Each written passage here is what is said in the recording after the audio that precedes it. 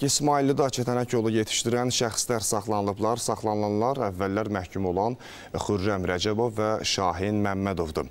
Polisin keçirdiyi əməliyyat nəticəsində onların narkotik tərkibli bitkilərin kultivasiyası ilə məşğul olduqları məlum olub. Həmin şəxslərin yaşadıkları ünvanlara baxış keçirdiyi zaman xüsusi qulluq göstərərək yetişdirdikləri çətənək yolları aşkar olunub. Faktlarla bağlı isə cinayət işi başlanılıb, araşdırmalar davam etdirilir.